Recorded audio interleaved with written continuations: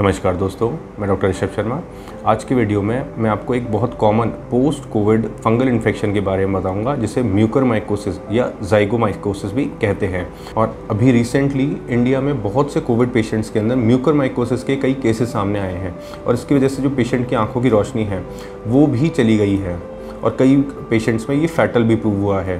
तो इसलिए ये वीडियो मैंने आपको म्यूकर माइकोसिस की इन्फॉर्मेशन देने के लिए बनाया है। और इस वीडियो में मैं आपको बताऊँगा कि कब आपको सस्पेक्ट करना है, आपकी म्यूकर माइकोसिस हो सकता है। इसके अलावा म्यूकर माइकोसिस के सिम्टम क्या है? कौन से पेशेंट रिस्क में है म्यूकर माइकोसिस में? इसके अलावा मैं आपको कुछ प्रिवेंटिव टिप्स बचाव के कुछ उपाय बताऊँगा म्यूकर माइकोसिस से बचने के और बाकी एंड में मैं म्यूकर माइकोसिस के ट्रीटमेंट के ऊपर भी शॉर्ट में बताऊँगा। तो म्यूकर माइकोसिस नाम की जो बीमारी है, ये म्यूकर माइसिटीज़ फंगाई से होती है और जो ये म्यूकर माइसिटीज़ नाम की फंगाई है, ये हमारे एनवायरनमेंट में चारों तरफ़ फैली हुई है। खासकर ये मिलती है सॉइल में, ज़मीन में। इसके अलावा ये मिलती है सीलन भरे हुए कमरे हैं, गीली सर्फेसेस हैं या डिकिंग ऑर्गेनिक मैटर जैसे सड़ी हुई पत्तियाँ, खाद या गीली लकड़ी। उनमें ये फंगाई ज़्यादातर मिलती है और नॉर्मल पर्सन को ये फंगाई इफ़ेक्ट नहीं करती। जिस आदमी की इम्यूनिटी नॉर्मल है और जिसकी ब्लड शुगर नॉर्मल्स हैं, उसमें म्यूकरमाइसिटीज़ जो फंगाई है, ये उसे इफ़ेक्ट नहीं करती, उसमें डैमेज नहीं करती उसके शरीर को। और म्यूकरमाइसिटीज़ इन्फेक्शन उन लोगों के करती है जिनकी इम्यूनिटी कम हो गई है। जैसे कि ओल्ड एज पर्सनस या डायबिटिक पेशेंट्स जिनकी ब्लड शुगर लेवल्स है, वो बढ़ी हुई है। या फिर जो कैंसर के पेशेंट्स हैं, या वो पेशेंट्स जिनमें इम्यूनिटी कम करने वाली दवाइयाँ, जैसे कि स्टेरॉइड्स या इम्यूनोमोडुलेटर ड्रग्स जैसे कि टोसिलिजुमाब ये चल रही है। तो इन पेशेंट्स में म्यूकरमाइसिटीज़ इन्फेक्शन कॉज करती है। इसके अलावा ह्यूमिडिफाइड ऑक्सीजन से भी म्यूकरमाइकोसिस का खतरा बढ़ जाता है। और अभी ये पोस्ट कोविड पेशेंट्स में इसलिए फैल रही है क्योंकि कोविड के ट्रीटमेंट के अंदर स्टेरॉइड्स यूज़ हो रहे हैं इम्यूनोमोडुलेटर ड्रग्स जैसे कि टोसलिजमाब यूज़ हो रही है और ऑक्सीजन सपोर्ट में ह्यूमिडिफाइड ऑक्सीजन यूज़ हो रही है और ये तीनों चीज़ें ट्रीटमेंट पार्ट है।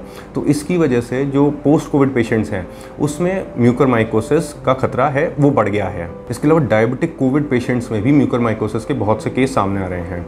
और जो ये म्यूकर फंगाई है, ये हमारी आँखों को साइनसेस को और ब्रेन को इफ़ेक्ट करती है। और इसकी वजह से पेशेंट की जो आँखों की रोशनी है, वो जा सकती है और कई एक्सट्रीम केसेस में पेशेंट की डेथ तक हो सकती है। और इसी टाइप की जो इन्फेक्शन है, वो इस टाइम पर इंडिया में पोस्ट कोविड पेशेंट से मिल रहे हैं। और इसके अलावा म्यूकर माइकोसिस फेफड़ों को जी ट्रैक्ट को स्किन को, इन्हें भी इफ़ेक्ट करता है। तो इसलिए आपको इसके जो सिम्टम्स है, लक्षण है, उसके बारे में जानकारी होनी चाहिए। तो अगर म्यूकरमाइसिटीज़ ने पेशेंट के ब्रेन को साइनसिस को या आइज़ को इफ़ेक्ट करा है तो पेशेंट को फेस की एक साइड सूनापन आ सकता है, सूजन आ सकती है या फेस की एक साइड में दर्द होता है पेशेंट को। इसके अलावा पेशेंट को आँखों के अराउंड दर्द हो सकता है या सूजन आ सकती है। इसके अलावा पेशेंट को ड्रूपिंग ऑफ़ आईलिड्स हो सकता है। इसके अलावा पेशेंट को आँखों में धुंधलापन आ सकता है या कई केसेज में पेशेंट की आँखों की रोशनी है, वो जा सकती है। बाकी पेशेंट की सर दर्द रहता है या पेशेंट की जो नाक है, वो बंद जाती है। कई बार नाक से पेशेंट की ब्राउन या ब्लैकिश यानी भूरे रंग का या काले रंग का डिस्चार्ज आता है। इसके अलावा पेशेंट के नाक के पास में काले रंग के निशान बन जाते हैं। इसके अलावा पेशेंट को बुखार भी आ सकता है। और अगर जो ये म्यूकर माइकोसिस है अगर पेशेंट के फेफड़ों को इफ़ेक्ट कर, करता है तो पेशेंट को खांसी आ सकती है पेशेंट को बुखार आ सकता है पेशेंट को चेस्ट पेन हो सकता है यानी कि सीने में दर्द हो सकता है। इसके अलावा पेशेंट को जो है सांस लेने में तकलीफ़ हो सकती है। और अगर म्यूकर माइकोसिस पेशेंट के जीआई सिस्टम को इफ़ेक्ट करती है तो पेशेंट को जी में चलाना उल्टी आना पेट दर्द रहना या लेटरिन में खून आना ऐसे सिम्टम्स आ सकते हैं। तो पोस्ट कोविड पेशेंट्स या डायबिटिक पेशेंट्स या वो पेशेंट्स जिनकी इम्यूनिटी कमज़ोर है, वो इन लक्षणों को लेकर सिम्टम्स को लेकर सावधान रहें और अपने जो डॉक्टर हैं, उनके टच में रहें, उनके कॉन्टैक्ट में रहें। नेक्स्ट मैं आपको इससे कुछ बचाव के तरीके, कुछ प्रिवेंटिव टिप्स बताता हूँ।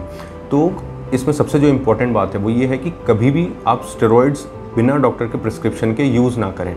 हमेशा डॉक्टर से कंसल्ट करने के बाद, प्रिस्क्रिप्शन लेने के बाद ही स्टेरॉइड्स को यूज़ करें। इसके अलावा जो डायबिटिक पेशेंट्स हैं, उनका जो ब्लड शुगर लेवल्स है, वो हमेशा कंट्रोल में रहना चाहिए और खासकर तब जब पेशेंट के स्टेरॉइड चल रहा हो। और इसके लिए आप हमेशा अपने जो कंसल्टिंग डॉक्टर हैं ट्रीटिंग डॉक्टर हैं, उनके टच में हमेशा रहें। इसके अलावा अगर पेशेंट ऑक्सीजन सपोर्ट पे है तो उसके ह्यूमिडिफायर में हमेशा साफ़ पानी होना चाहिए। इसके अलावा पेशेंट के कमरे में हमेशा अच्छी साफ़ सफ़ाई होनी चाहिए।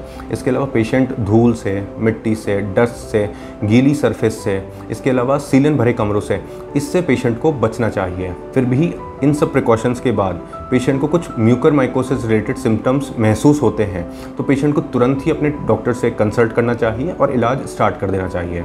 अब लास्ट में बात करते हैं म्यूकर माइकोसिस के ट्रीटमेंट के बारे में। तो म्यूकर माइकोसिस के ट्रीटमेंट में एम्फोटेरेसिन बी नाम की एंटी फंगल मेडिसिन का यूज़ करा जाता है। और इसके अलावा अगर पेशेंट के अंदर जो इन्फेक्शन है, वो बहुत ज़्यादा बढ़ गया है तो पेशेंट में से जो इन्फेक्टेड टिश्यू है, उसे भी सर्जरी द्वारा हटाया जा सकता है। इसलिए आप कोशिश करें इस बीमारी से बचने की। तो ये थी कुछ इंपॉर्टेंट इन्फॉर्मेशन म्यूकर माइकोसिस के सिम्टम्स से रिलेटेड इसके रिस्क फैक्टर्स से रिलेटेड इसके प्रिवेंटिव टिप्स से रिलेटेड एंड इसके ट्रीटमेंट से रिलेटेड और हेल्थ और मेडिकल स्पेशली कोविड नाइन्टीन से related authentic useful and reliable information के लिए आप हमारा चैनल हेल्थ ज़रूर सब्सक्राइब करिए। बाकी अपना ध्यान रखिए, खुश रहिए। Thank you take care